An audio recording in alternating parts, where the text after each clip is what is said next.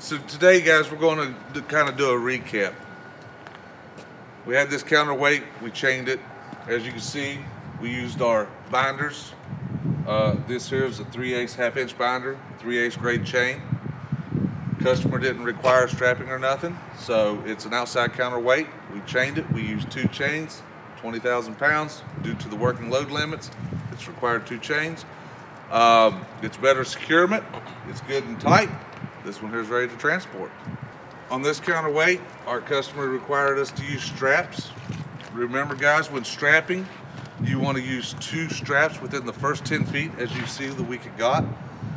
Due to the working load limit, we put three straps on it. Me personally, more is better. Um, when in doubt, either ask or add extra.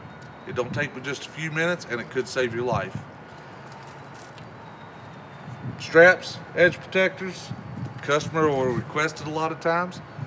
Also, when when um, you're looking at this stuff, talk to your customer. Don't be afraid to ask them. Do they need it tarped? Uh, hay, lumber, they will. you know, most of the time they require it to be tarped.